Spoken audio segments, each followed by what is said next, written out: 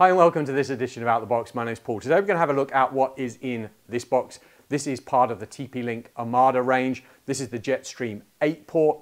Um, this is the TL-SG2008. Wasn't sure again. It is an 8 port 1 gigabit Ethernet switch.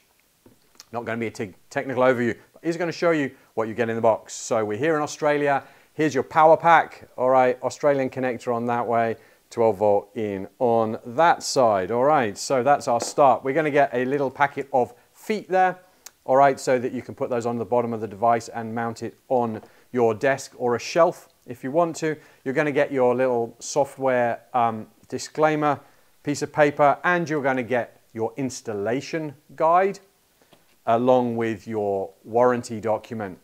So TP-Link Omada is an ecosystem. Head on over to our YouTube channel if you don't know about it. We've got a, a video on there on what do I need to run TP-Link Omada and we talk through all of the components. But basically you do need a piece of controller software or a piece of hardware called the OC controller, the Omada controller, um, to be able to configure and use and get the most out of these. They're all managed centrally from either the software or the controller. So you set up everything that you want in there and then adopt this device. Once the device is adopted, then um, you can manage it centrally. But this is going to show you what you get in the box. We've gone through all those main components. All right, let's go through the key bit here. Um, on the back here, we've got our power in and then our eight port switch. Um, there is a PoE in port here. I believe you may be able to PoE power this device. Not totally sure about that, but we do have our mains pack that comes with it. It's a metal construction, no uh, moving parts, no fan inside, so it is side vented.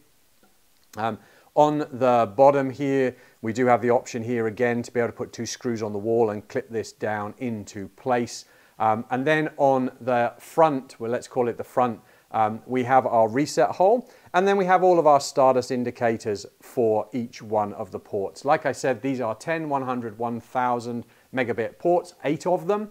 All right, it's designed to run with the controller. The controller will then allow it to do all of the stuff like VLANs and everything else. There probably isn't a lot more uh, to show you about this switch. Like I said, it's part of the TP-Link Omada ecosystem.